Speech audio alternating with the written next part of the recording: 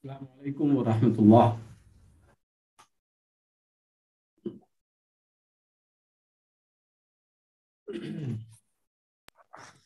अस्सलाम वालेकुम अस्सलाम खैरियत से हैं अल्हम्दुलिल्लाह अल्लाह का करम है आप बताइए आप कैसे हो भाईजान? अल्लाह का फजल है आपकी और सुनाइए।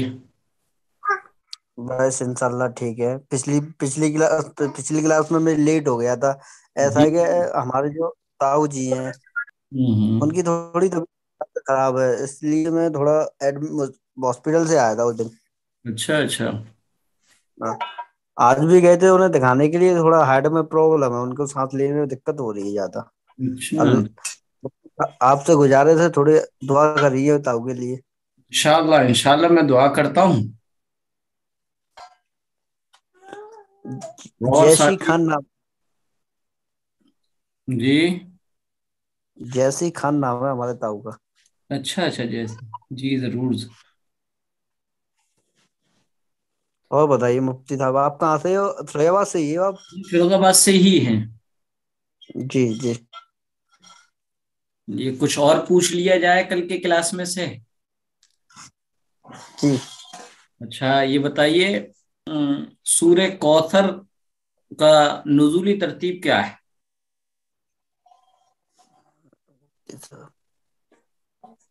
या सूरतुल कौसर कौन सी सूरत है? पढ़कर सुनाएँ। कौसर। जी जी।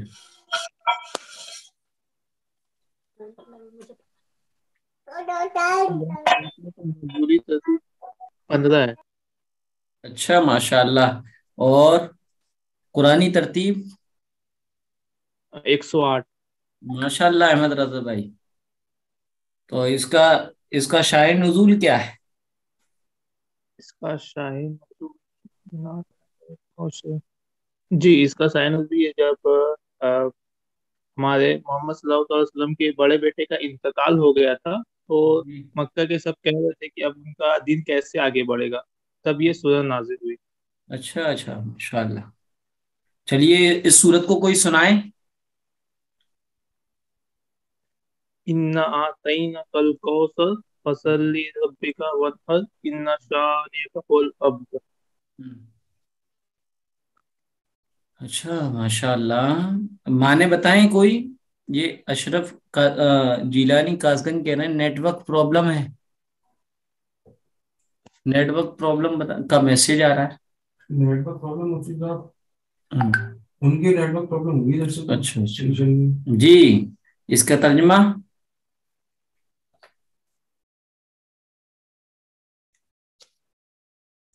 अच्छा दूध पीने की दुआ बताई थी आपको? दूध पीने की दुआ सुनाइए।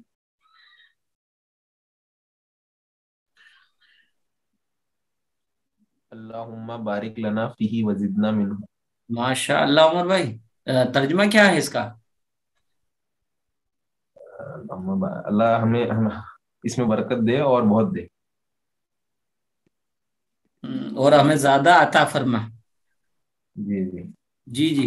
अच्छा सोने से पहले की दुआ क्या बताई थी? अल्लाहुम्मा हम्म।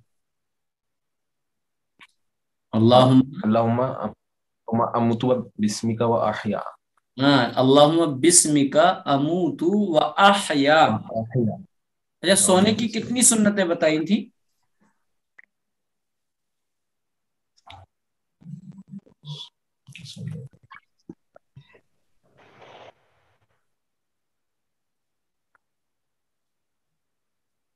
सोने की कितनी सुन्नतें बताई थी?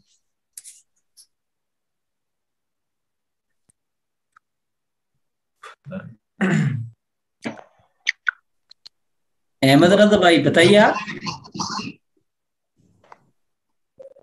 जी मैं कल का क्लास लीव हो चुका था इसलिए ये सब याद नहीं होता है।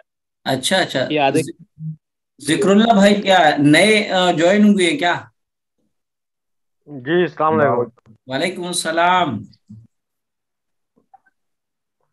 जी एक दो क्लास पहले भी किए हैं लेकिन हम पूरा क्लास नहीं कर पाए। माशाल्लाह चलो कोई बात नहीं। अच्छा सोने सोने ग्यारह सुन्नतें बताई थी आप हजरात को? जी। अच्छा ईमान मुजमल याद कराया था? ईमान मुजमल बताएँ।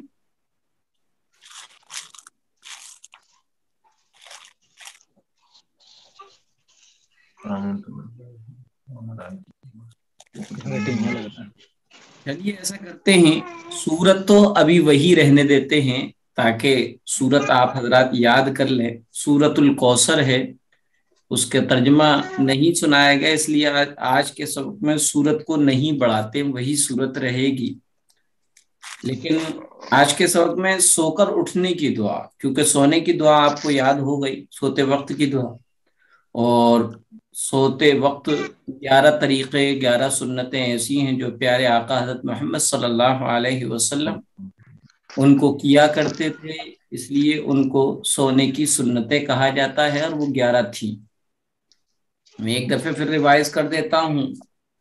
एक तो ये है कि ईशा के बाद जल्दी सोने की फ़िक्र की जाए, दुनिया की बातें और दुनिया के फजूल काम में न लगकर जागा ना जाए।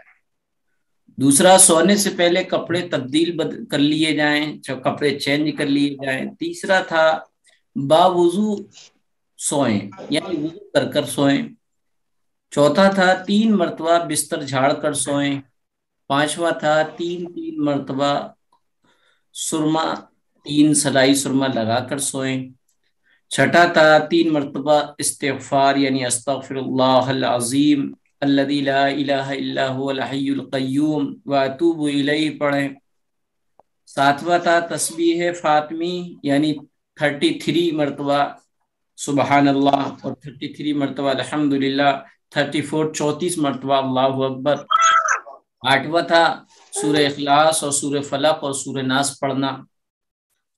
नवा था, दाहिनी करवट पर किबले की तरफ़ रुख कर कर हाथ गाल के नीचे, रुखसार के नीचे रखना। दसवा था, पेट के बल औंधे न लेट, लेटना। ग्यारहवा था, सोने की दुआ, यानी अल्लाहुम्मा बिस्मिका मुतु व अहया पढ़ना। आज सोकर उठने की दुआ हम सोकर उठते हैं। तो सबसे पहले जब हम सोकर उठें तो उस वक्त क्या दुआ पढ़ना चाहिए? हज़रत हुजैफा रदी अल्लाह तु फरमाते हैं कि रसूलुल्लाह सल्लल्लाहु अलैहि वसल्लम जब नींद से बेदार होते तो ये दुआ पढ़ते अल्हम्दुलिल्लाहिल्लज़ी अहयाना अमातना व इलैहिन नुशूर। ये सोकर उठने की दुआ है, इसके माने हैं, इसका तर्जमा ट्रांसलेट ये है कि तमाम तारीफें अल्लाह के लिए हैं, जिसने हमें मौत देने के बाद ज़िंदगी दी और उसी की तरफ़ सबको जाना है। अल्लाह रब्बुल इज़्ज़त की जात ऐसी है जिसको न नींद आती है और न ऊँग आती है। वरना तो जो भी जानदार मखलूक है जो भी जानदार है, उसको नींद भी आती है, ऊंग भी आती हत्या के बाद लोगों ने ये पूछा कि शैतान सोता है या नहीं? बिल्कुल शैतान सोता है, उसकी दलील, उसका प्रूफ ये है कि मैंने आपको बताया था घर में जब दाखिल कोई बंदा होता है और सलाम करता है और खाने को जब स्टार्ट करता है तो खाने की दुआ बिस्मिल्लाह पढ़ता है तो अल्लाह के रसूल ने फरमाया कि शैतान करता, कहता है कि चलो भाई, आज ना इस घर में ठिकाना है और ना हमारा खाना है। और जो घर में दाखिल होता है और न सलाम करता है, न खाने, खाते की दुआ पढ़ता है तो शैतान कहता है अपने चेले चपाटों से आ जाओ, खाने का भी इंतज़ाम हो गया और सोने का भी इंतज़ाम हो गया। इस हदीस से पता चलता कि शैतान भी सोता है, जिन्नात भी सोते हैं। सिर्फ़ अल्लाह की जात बाकी है और अल्लाह की जात को लाता खुजू से न तुम वाला न न उसको नींद आती है और न ऊंग आती है। तो बहरहाल, हम जब सोकर उठे तो ये दुआ पढ़े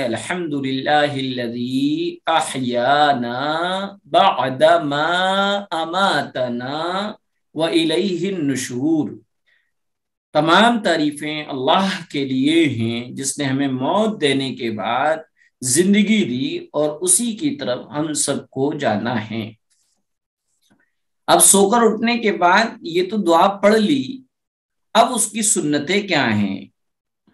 सोकर उठने की सुन्नतें में तीन सुन्नतें हैं, उसका खूब एहतमाम करें। नींद से उठते ही दोनों हाथों से चेहरा और आँखों को मलना चाहिए। इस तरीके से।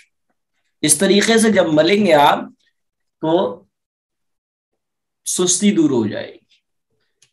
तो पहली चीज़, नींद से उठते ही दोनों हाथों से चेहरे और आँखों को मल्ला प्यारे आका हज़रत मोहम्मद मुस्तफ़ा सल्लल्लाहु अलैहि वसल्लम जब नींद से बेदार होते तो दोनों हाथों से चेहरा और आँखों को मलते।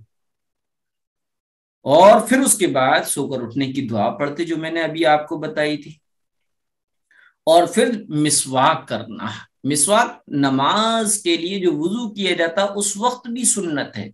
और सोकर उठने के बाद मिसवाक करना, ये खुद मुस्तकिल सुन्नत है। तो ये सोकर उठने की तीन सुन्नतें हुई और सोकर उठने की दुआ आपके सामने आई। अब हम चलते हैं दुआ और सुन्नत मसाइल में और अकायद में। चूँकि आप लोगों को ईमान मुजमल बताया था, मैंने बताया था ईमान मुजमल लफ्ज है, बाद लोग मुजम्मल कहते हैं, ये गलत है। शॉर्टकट, मुजमल माने शॉर्टकट, मुख्तसर। वो था आमन आमंत बिल्लाहि कमा हुआ बी ही व सिफाती ही व कबिल तु जमिया मैं ईमान लाया अल्लाह पर, जैसा कि वो अपने नामों और सिफतों के साथ है, और मैंने उसके तमाम अहकाम कबूल किए। मैंने उसकी तमाम जो जो भी बातें थी, वो मैंने उसके कबूल किए, तमाम हुक्मों को कबूल किया। इसको, ये ईमान मुजमल था। ईमान मुफसल का आज ज़िक्र करेंगे। ईमान मुफसल ये तफसीली ईमान, जिन बातों पर यकीन किया जाता है, उन बातों का तफसीली चीज़ इसमें बयान की गई है, इसलिए इसको ईमान मुफसल कहते हैं। ये क्या है? आमन तो बिल्लाहि व मलाइकतिही व कुतुबिही व रुसुलिही वल यौमिल आखिर वल कदरी खैरिही व शर्रिही मिनल्लाहि वल बअदल मौत ये थी ईमान मुफसल और इसका तर्जमा है, मैं ईमान लाया अल्लाह पर, आमंतु बिल्ला, मैं ईमान लाया अल्लाह पर, व मलाइकती ही और उसके फरिश्तों पर, व कुतुबी ही और उसकी किताबों पर व रसूली ही और उसके रसूलों पर, वल यौमिल आखिरी और क़यामत के दिन पर। वल कदरी खैरी ही व शर्री ही और इस बात पर कि अच्छी और बुरी तकदीर अल्लाह की तरफ़ से होती है। वलबाती बादल मौत, और मौत के बाद दोबारा ज़िंदा किए जाने पर। ईमान मुफसल में सात बातें का ज़िक्र है। उसमें पहली बात अल्लाह की जात पर ईमान लाना। वह मलाई मलाइकती और उसके फरिश्तों पर। फरिश्ते अनगिनत है, एक मखलूक है जो नूर से पैदा किए गए उनमें नस्लें नहीं होती, उनमें लेडीज़ जेंट्स नहीं होते। वो न खाते हैं, न पीते हैं। बल्कि अल्लाह ताला ने जिस काम पर उनको लगा रखा है, वो अल्लाह के उस काम की में लगे हुए हैं। अल्लाह की नाफरमानी नहीं करते। नूर से पैदा किए और इंतहाई लतीफ और बारीक है। न इंसान उनको देख सकता है और न जिन्नात उनको देख सकता है। और वो कितने हैं? सही तादाद अल्लाह के अलावा किसी को नहीं मालूम। हाँ ये ज़रूर है कि बहुत सारे हैं। और अल्लाह ताला ने मुख्तलिफ़ फरिश्तों को मुख्तलिफ़ कामों पर लगा रखा है। वकुतुबी ही और उसकी किताबों पर आसमानी जो किताब है, जो अल्लाह की तरफ़ से पैगंबरों पे नाजिल हुई, वो चार हैं। औरत है, जबूर है, इंजील है और कुरान मजीद है। ये आसमानी किताब है। और इसके अलावा छोटी छोटी किताबें भी आई जिनको सहीफे कहते हैं। वो मुख्तलिफ़ पैगंबरों पर आए। आदम पर और मूसा सलाम पर, इब्राहिम सलाम पर बहुत सारे पैगम्बरों को छोटी छोटी किताबें दी गई जिनको सहीफे कहते हैं। तो हम अल्लाह की सब किताबों को हक मानते हैं। व रसूली ही और उसके रसूलों पर। नबी और रसूल दोनों के एक ही माने पर जरा सा फ़र्क है। नबी कहते हैं, उस पैगंबर को जिसको नई शरीयत और नई किताब न दी गई हो, बल्कि उससे पहले वाले शरीयत और पहली वाली किताब और पहले वाले कानून पर अमल करने, कराने के लिए भेजा जाए, उसे नबी कहते हैं। रसूल उस पैगंबर को कहते हैं जिसको नई शरीयत और नई किताब दी गई। रसूल, नबियों और रसूलों दोनों की तादाद, सही तादाद अल्लाह के अलावा नहीं, किसी को नहीं मालूम। हाँ तकरीबन हदीस में आया, एक लाख चौबीस हज़ार नबी, आदम सलाम जो सबसे पहले नबी हैं और आखिरी नबी, प्यारे आकादत मोहम्मद मुस्तफ़ा सल्लल्लाहु अलैहि वसल्लम तक। कमो बेश दुनिया में इंसानों की हिदायत के लिए, इंसानों को उनके खालिक से जोड़ने के लिए ये पैगंबरों और रसूलों का सिलसिला दुनिया में शुरू हुआ। तो वह रसूल ही और उसके रसूलों पर। हमारा ये ईमान है कि जितने पैगंबर, जितने नबी, जितने रसूल आए, सब सच्चे थे। वल यौमिल आखिरी और कयामत के दिन पर। यानी ये दुनिया खत्म होनी है। हमारा ये अकीदा है, यकीन है कि ये दुनिया खत्म होनी है और कयामत कायम होनी। वल कदरी खैरी व शर्री मिन अल्लाह ताला। और इस बात पर भी ईमान लाए कि अच्छा बुरा जो भी होता है, वो अल्लाह की तरफ़ से होता है। और सब तय है। एक अंदाज़ा अल्लाह का मुकर्र है, एक टाइम फिक्स है, इसको तकदीर और मुकद्दर कहते हैं तो अच्छी बुरी तकदीर सब अल्लाह की तरफ़ से होती है। वलबात बादल मऊत, और हमारा इस बात पर भी अकीदा है, यकीन है कि मरने के बाद हम दोबारा ज़िंदा किए जाएँगे, दोबारा ज़िंदा उठाए जाएँगे। ये ईमान मुफसल था, जिसमें सात चीज़ों का ज़िक्र था, वो आपके सामने आई। अब गुस्ल के फराइज आपको सामने आ गए थे, और गुस्ल का तरीका भी आ गया था कि सबसे पहले कैसे कैसे कैसे कैसे गुस्ल करना है। आज गुस्ल किन चीज़ों से फ़र्ज़ होता है, उसको आपके सामने रखेंगे। सबसे पहली चीज़, एहतलाम का हो जाना, यानी नाइट फेल हो जाना। नींद में मनी और धात का निकलना, ये इससे गुस्ल फ़र्ज़ हो जाता है। बेदारी में, जागते हुए में शहवत के साथ मनी का निकलना, धात का शहवत के साथ, यानी मतलब के जोश के साथ स्टैंडिंग के साथ मनी का निकल गई। अब इससे वो सूरतें निकल गई, कोई धात का मरीज़ है और उस, उसकी धात वैसी बगैर स्टैंडिंग के टपक जाती है। और कोई उसको शहवत नहीं होती, कब निकल, उसकी धात निकल गई, उसको पता नहीं चलता तो गुस्ल वाजिब नहीं होगा। जागते हुए हालत में शहवत के साथ, जोश के साथ, जो धात और मनी निकलती है, उससे भी गुस्ल वाजिब होता है। अलबत्ता बड़ा गुनाह ये है कि उसको हैंड से निकाला जैसे हैंड प्रैक्टिस कहते हैं, ये बहुत बड़ा गुनाह है। तीसरी चीज़, हम बिस्तरी करना। हम बिस्तरी यानी बीवी से खास तरीके से मिलना। यानी मर्द की शर्मगाह, औरत की शर्मगाह में इंटर कर जाए, इसे हम बिस्तरी, सोहबत और जिमा कहते हैं। हम बिस्तरी करना।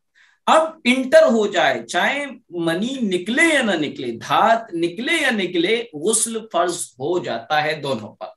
यानी मर्द की शर्मगाह, औरत की शर्मगाह में इंटर कर गई तो गुस्ल वाजिब हो गया, चाहे मनी और धात निकले या ना निकले। ये तीन चीज़ें चौथी चीज़ जो औरतों से मुतालिक है हैज़ के खून का बंद हो जाना। कुदरती तौर पर औरतों के कुछ मखसूस दिन होते हैं जिसमें उनको खून आता है। उसे हैज़ कहते हैं, पीरियड्स वगैरह के खून कहते हैं। तो हैज़ के खून, उनकी एक आदत होती है, वो जब बंद हो जाता है तो गुस्ल फ़र्ज़ होता है। इसी तरीके से पांचवी चीज़ जो है, वो भी औरतों से वाबस्ता रखती, वो रखे। निफास के खून का बंद हो जाए। निफास कहते हैं बच्चे की पैदाइश चाहे नॉर्मल हो, चाहे नॉर्मल डिलीवरी हो, चाहे जो है ऑपरेशन से हो, कुछ दिनों तक खून आता है उस रास्ते से तो उसे निफास कहते हैं। वो खून आना जब बंद होगा, जब गुस्ल वाजिब होगा, फ़र्ज़ होगा। ये पाँच वजहें थी गुस्ल के फ़र्ज़ होने की, जो मैंने आपके सामने बताई। अब इसी में मैंने एक मसला भी बताया, बीमार या कमज़ोरी की वजह से पेशाब के रास्ते से जो सफ़ेद पानी आ जाता है, वो नापाक है, उससे निकलने उससे निकलने से वज़ू टूटता है गुस्ल वाजिब नहीं होता। अल्लाह के निज़ाम में कि मर्द की शर्म, आगे की शर्मगाह से चार चीज़ें निकलती। जिनमें से तीन चीज़ों से वज़ू टूटता है और चौथी चीज़ से गुस्ल वाजिब होता है। खूब अच्छी तरीके से समझ लीजिएगा। पहली चीज़ पेशाब है। पेशाब निकलता है। पेशाब में चूँकि एसिड होता है तेजाबियत होती है पेशाब के फ़ौरन बाद आखिर में लेसदार पानी निकलता है। ये ऑयली पानी लगता है। ऑयली कतरे जब लास्ट में जो रह जाते हैं आप देखिएगा वो फिल, फिल, फिल, वो उस पर सीट पर बहुत स्लोली स्लोली बहते हैं। वो ऑयली पानी होता है। ये अल्लाह का निज़ाम है, पेशाब के फ़ौरन बाद वो पानी निकलता है ताकि नसें डिमेज ना हो, बेकार ना हो। इसे वदी कहते पेशाब पेशाब के बाद इसे जो पेशाब के फ़ौरन बाद आता है, ये वदी कहलाता है। ये एक साथ होता है, पेशाब के फ़ौरन बाद आएगा, अलग नहीं हो सकता। तीसरी चीज़ है मजी कोई बीवी से मज़ाक कर रहे हैं कोई मूवी देख रहे हैं किसी से छेड़खानी कर रहे हैं कोई नॉवल इस टाइप की पढ़ कर रहे पढ़ रहे हैं कोई सेक्सी चीज़ का को सोच रहे हैं तो उस वक्त स्टैंडिंग बहुत होती है और एक पानी सा निकलता है। और वो पानी निकलना है लेकिन वो पानी लेसदार नहीं होता है। अलबत्ता पानी निकलता है उसका वो दिखता भी हाँ कुछ निकला। लेकिन वो सूखने के बाद उसका दाग नहीं रहता है, उसमें दाग नहीं बनता है। बस ये जो है, इसे मसी कहते हैं, इसकी सबसे बड़ी पहचान ये कि स्टैंडिंग और ज़्यादा होती है। इसे, इस ये भी जब निकलता है तो वज़ू टूटता है, गुस्ल वाजिब नहीं होता। कपड़े के जिस हिस्से पर लग जाएगा तो कपड़े का वो हिस्सा नापाक हो जाएगा, जैसे कि पेशाब के लगने से कपड़ा नापाक हो जाता है, बदन पे लग जाएगा तो बदन वो नापाक हो जाएगा, यानी उस जगह को धोना पड़ेगा। तीसरी चीज़ है पहली पेशाब हो गई, दूसरी वदी हो गई, तीसरी मजी हो गई, चौथी चीज़ है मनी, जिसे धात भी कहते हैं। ये गाड़ी होती है। और इसके निकलने के बाद, स्टैंडिंग खत्म होना शुरू हो जाती है। और इसका दाग भी रहता है। ये चीज़ अगर निकली है तो इससे गसल वाजिब हो जाएगा। लिहाजा ये मर्दों का है। लेकिन कभी कभी मर्दों में बीमारी हो जाती है, या तो अपनी करतूतों की वजह से हैंड प्रैक्टिस शिकार मतलब के बुरी आदत लत लग गई है तो ऐसी सूरत में हाथ से निकालते हैं तो उससे भी गुस्ल वाजिब। कभी कभी धात की बीमारी हो जाती है। ऐसी सूरत में बगैर उसके ही निकल आता है। कोई स्टैंडिंग स्टैंडिंग वगैरह नहीं होती है तो गुस्ल वाजिब नहीं होगा। क्योंकि मनी का जोश के साथ स्टैंडिंग के साथ निकलना और गुस्ल को, के कंपलसरी फ़र्ज़ होने के लिए ज़रूरी है। इसी तरह औरतों में बीमारी या कमज़ोरी कमज़ोरी की वजह से पेशाब के रास्ते से जो सफ़ेद पानी निकलता है, जिसे लिकोरिया कहते हैं, वो नापाक है, उसके निकलने से वज़ू टूटता है गुस्ल उन पर भी वाजिब नहीं होता।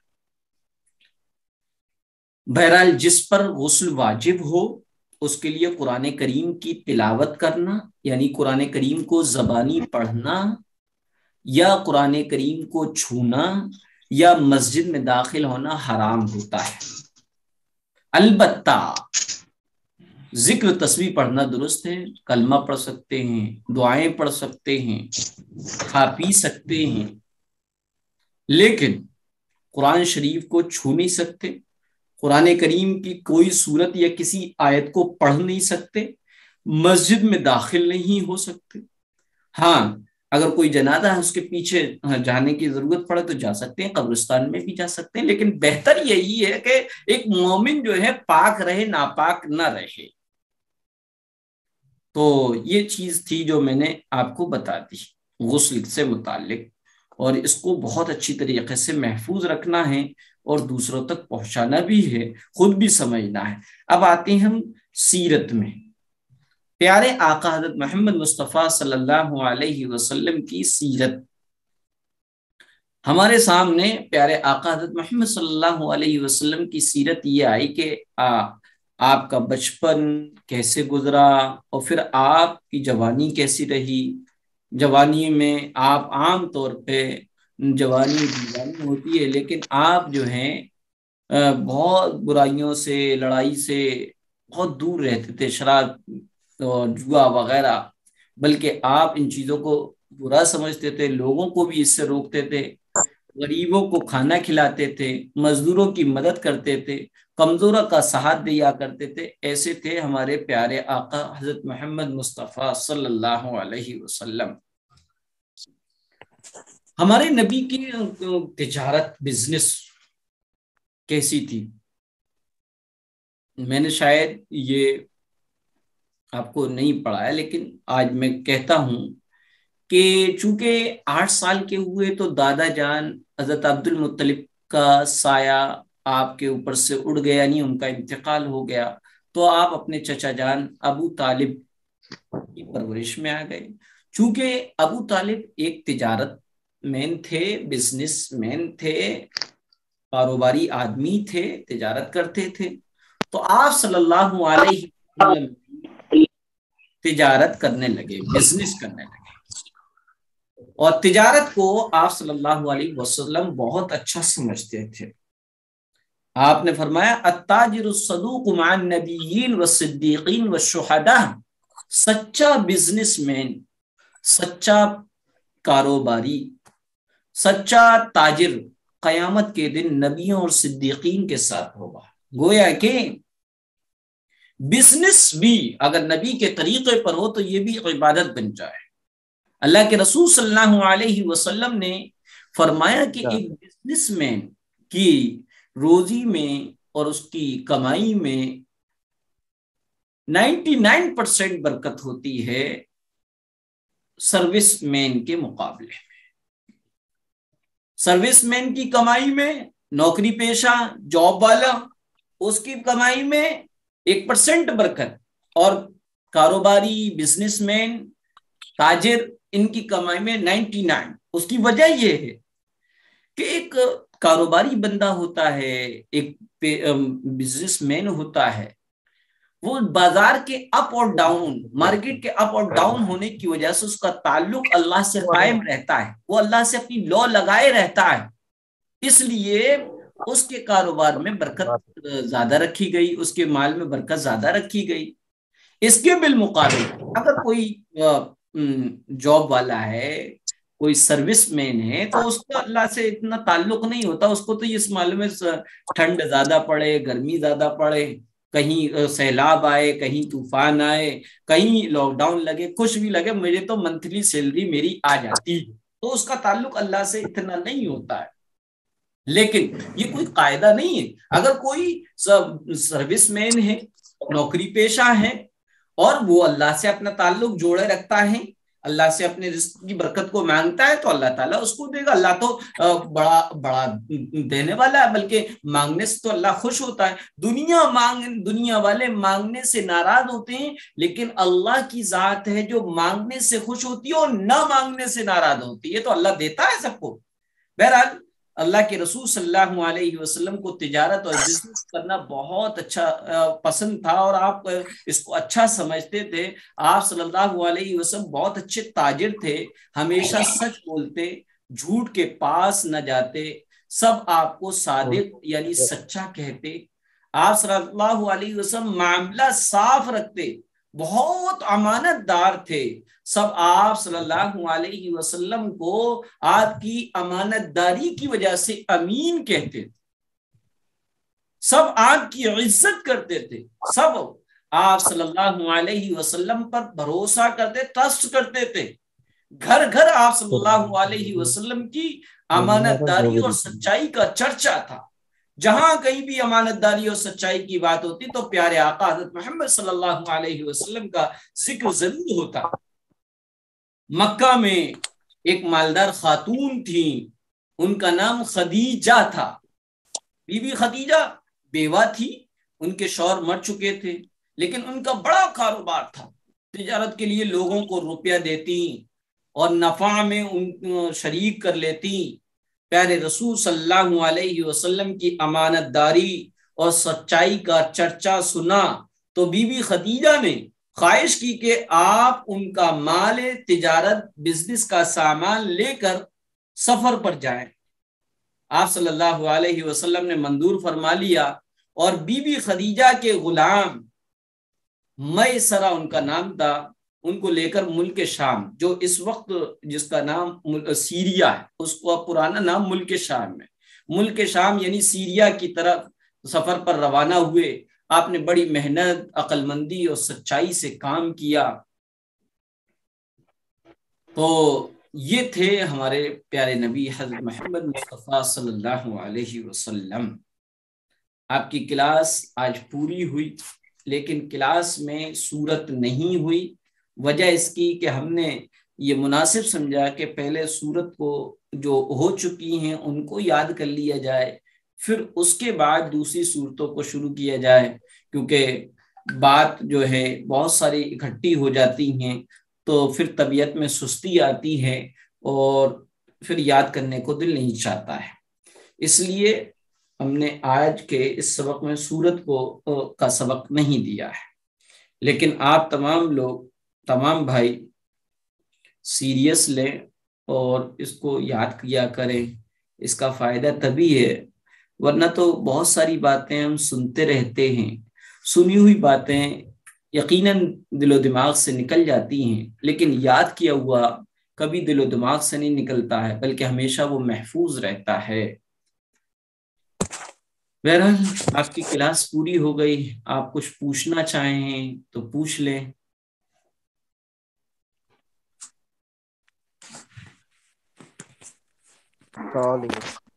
वालेकुम हेलो। जी नूर मोहम्मद भाई कुछ पूछना है क्या? जी अस्सलाम वालेकुम। वालेकुम सलाम जी मुफ्ती साहब आप बताइए। ये कह रहा था कि पिछले बार हम थोड़ा सा लेट हो गए थे तो काफ़ी सवाल आपसे पूछे थे याद अच्छा होगा अच्छा। आपको। जी जी। हाँ तो असल में आज तो हम शुरू से इंशाल्लाह शुरू से बढ़िया से सुने हैं। सुन रहे जी। अच्छा लगा। अल्लाह और अ, कुछ ज़रूरी मसले थे जो हम मतलब हमें चाहिए थे लेकिन हम नोट्स नहीं कर पाए। मतलब अच्छा अच्छा बताएँ। बड़ा हाँ चला। यही मतलब जैसे सोने के सुन्नतें जो थी जी जी ये जी। हमने सुना लेकिन अब ऐसे तो बहुत सुनते हैं बहुत सुन रहे हैं लेकिन वो नोट्स नहीं कर पाते। ना हम जो नोट्स करते तो याद कर लेते हैं लेकिन जी जी नोट नहीं नोट कर कर पा रहे। जी जी जी। और इसके ए, कुछ नोट्स मिल जाएँगे क्या? क्योंकि हम अभी तक दो क्लास किए ये तीसरा मेरा था। दोनों क्लास में लेट था यही तीसरा बस। हाँ और एक तो सूर्य हमने सिर्फ़ लिखा सूर्य इखलास का। जी जी। वो पिछले संचर जो हुआ था उसमें हम्म। सूर्य इखलास का हमने नोट लिखा था तो उसको हमने या- माशाल्लाह याद भी कर लिया है। और मैंने भी याद कर लिया हमने उसका। लेकिन उसके बाद हम पिछले सूर्य नाश का भी आया था लेकिन हम नहीं सुन पाए क्योंकि हम खुद ही नौ सवा नौ बजे जुड़े थे। जी जी जी। तो तो इसकी वजह से बहुत पीछे है। चले नूर मोहम्मद भाई एक तो ये बात मैंने आपसे पहले भी कहा था कि जो पीडीएफ में जो नोट्स वगैरह हैं वो हमारा इरादा है। लेकिन इस वक्त फिल वक्त नहीं है तो जो चीज़ हमारे जहन में होती है वो पढ़ा देते हैं। अलबत्ता आप हजरात ऐसा किया करें कि जब क्लास ज्वाइन करें तो मुमकिन हो तो एक पेन और कॉपी ले लिया करें उस पर नोट कर लिया करें और मुझसे दोबारा तिबारा करते रिपीट करवा लिया करें मैं इंशाल्लाह कभी नहीं उगताऊँगा जी जी जी। वो तो हम लिखते हैं लिखते हैं मुझ साहब कई ठो लिखे हैं हम। अच्छा माशाल्लाह। हाँ लेकिन असल में वही बीच में नंबर डालना भूल जाएँगे फिर आगे भूल जाते हैं लिखना क्योंकि अच्छा अच्छा। बार बार टोकना अच्छा नहीं लगता। नहीं आप बिला तकल्लुफ टोका करें बस ये समझा करें हम लोग एक क्लास में हैं और क्लास टीचर से आप जो। चाहे आप बार बार मालूम कर लिया करें। जी हेलो। मेरी तरफ़ से कभी इसको मैं बुरा नहीं मानूँगा है ना? आप कभी भी पूछें दस मरतबा पूछेंगे एक चीज़ को इनशाला दस मरतबा बताऊँगा। हेलो। जी अस्सलाम। वालेकुम। हेलो। जी जी फरमाए। अस्सलाम वालेकुम। वालेकुम अस्सलाम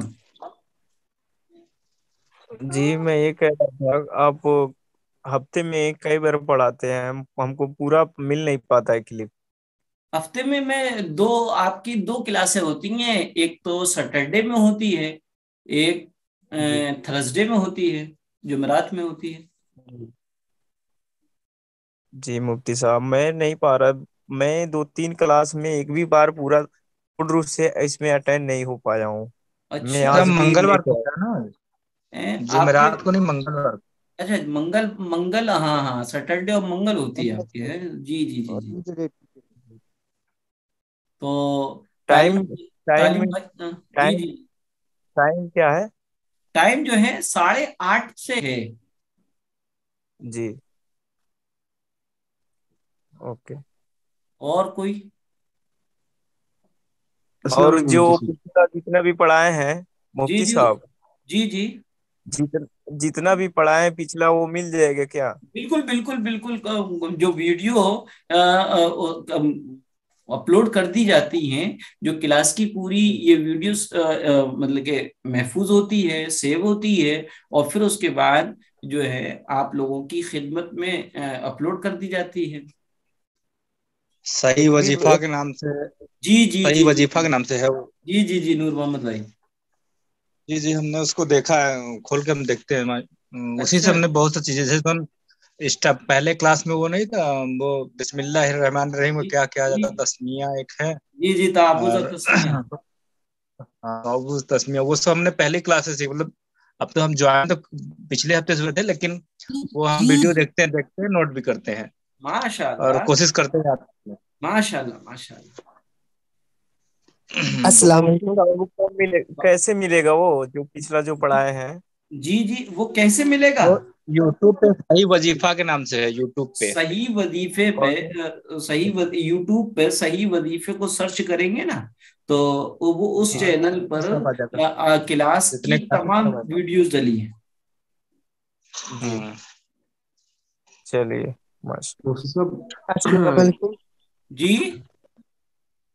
अस्सलाम वालेकुम। वालेकुम सलाम।